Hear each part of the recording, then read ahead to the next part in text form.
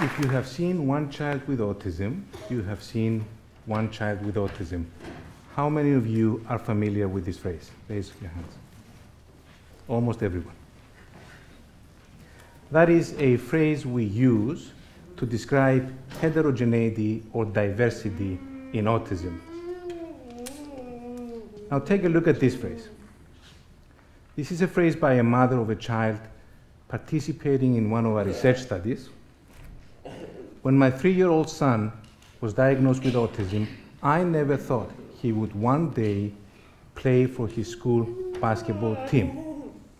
So, in my opinion, that is a phrase that speaks to the diversity of outcomes in children and youth and individuals with autism.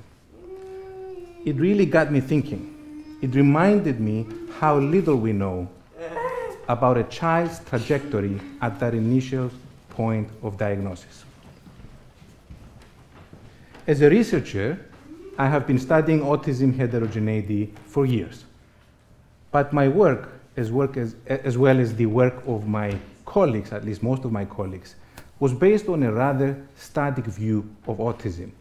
We would ask questions like, how are kids similar or different at the point of diagnosis?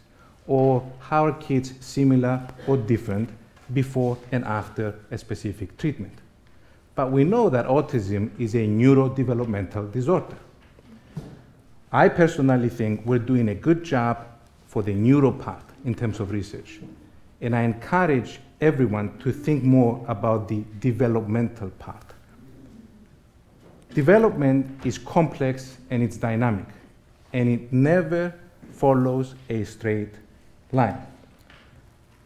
So, as researchers, it is those complexities that we need to embed in our work and make sure that we have a way of capturing the diversity as children and youth grow and develop. So, my colleagues and I recently introduced the concept of chronogeneity, which is the study of heterogeneity in relation to the dimension of time.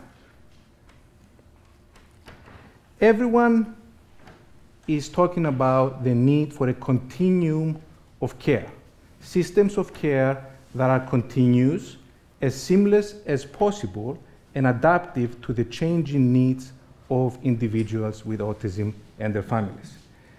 For researchers to be able to inform the development and the evaluation of these types of systems of care, we need to embed the chronogeneity into our work. That's going to require large collaborations and it's going to require a different way of thinking about analyzing our data and drawing conclusions from our data.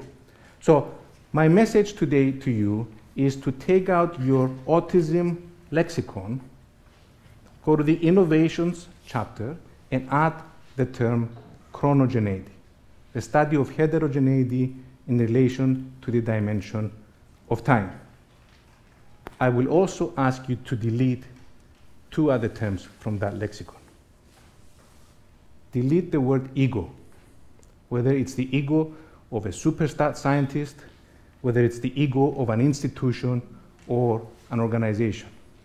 To have true collaborations, we need to delete the word ego. And also delete the word partisan politics. There's nothing innovative about politics and egos when you're trying to improve the way you do research that can then help individuals and families affected by autism. This is Canada, and we can do better. Thank you for your time.